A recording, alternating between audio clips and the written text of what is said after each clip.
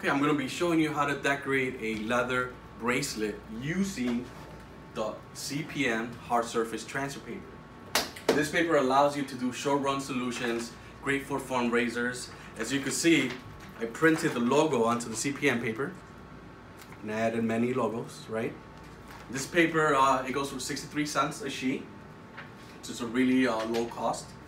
And again, I got the leather bracelet. I'm gonna grab the transfer paper, CPM, lay it on top. I have the heat press it, uh, the heat press at 300. I'm gonna press it for one minute.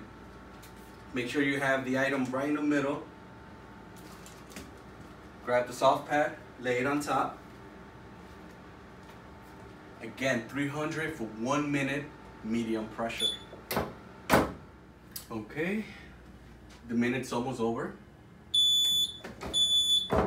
Open the press, grab the item. I'm gonna cool it for a couple seconds.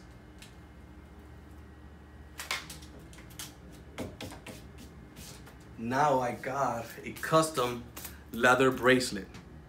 Pennies to decorate. How cool is that?